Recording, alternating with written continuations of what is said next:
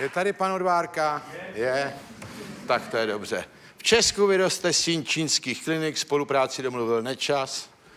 To zřejmě má jako součást trestu ještě Nečas, že musí tohle vyřizovat. Uh, tohle je taky dobrý. Dotknout se zboží zavazuje k jeho nákupu. To si dali v nějakém obchodě poměrně přísný pravidla teda. Se dotknete a musíte to koupit. Tak. Tohle nekupte to. Hanácká kyselka bez kosti.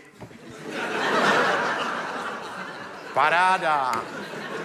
Za 9,93. Tady to máte.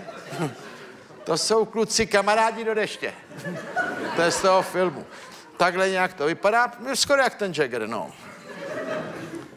Tady, odvezte si našeho prezidenta, je zajímavý billboard, který jsem ani nezaznamenal, ale je to docela pěkný.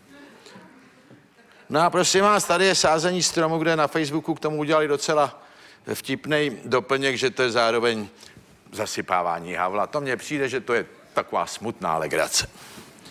Tak, to by bylo pro dnešek všechno.